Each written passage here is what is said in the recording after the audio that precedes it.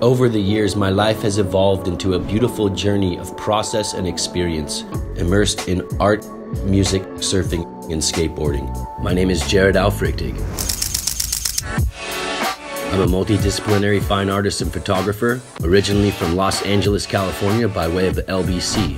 These days, I'm based in South Africa six to eight months a year and traveling the rest.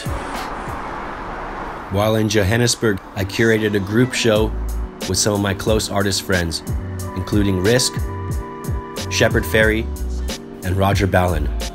The gallery was in Maboneng, near an awesome Argentinian restaurant called Che.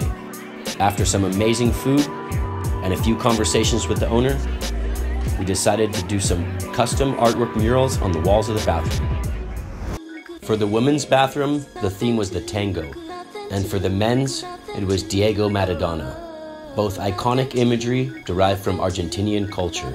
Collaboration is a beautiful thing. Also known as the City of Gold, who knows what opportunities the future might bring.